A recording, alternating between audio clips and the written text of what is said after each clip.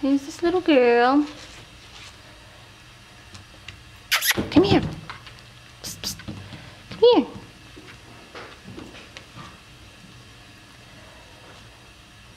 Let's see if this is clear coming in here.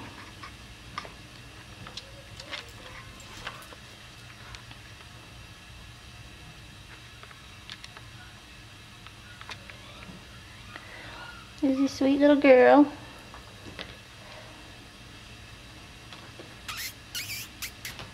Come here. See, she shakes just a little bit more than normal, that's for sure.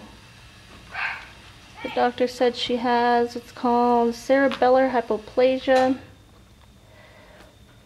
So both parents tested negative for the hereditary one and for the one that's um, known as deadly or kills them.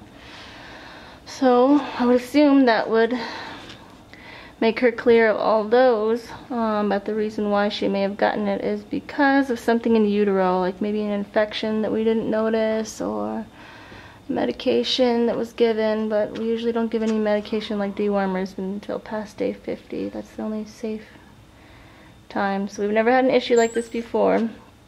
But she'll be a discounted price. Come here. Normally 2000 Come here. Come here, miss. Come here, miss. Come here. So she just walks a little wobbly. A little wobbly and shakes only while doing things, you know. Um, so cerebellar hypoplasia is something that uh, is basically the cerebellum didn't grow to the right size in utero. And um, so it's just too small. There's no treat, there's no cure for it, and the only treatments there is to do are just they don't really do much, so it's really pointless to do it. Um, so that's why we're still gonna sell her, but at a discounted price. So contact me if you're interested. Would you sit still, miss? They want to see you, not you running away.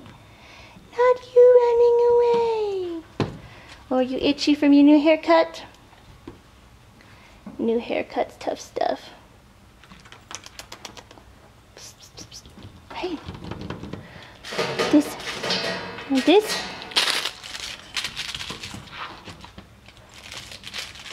She still plays. All kinds of stuff normal.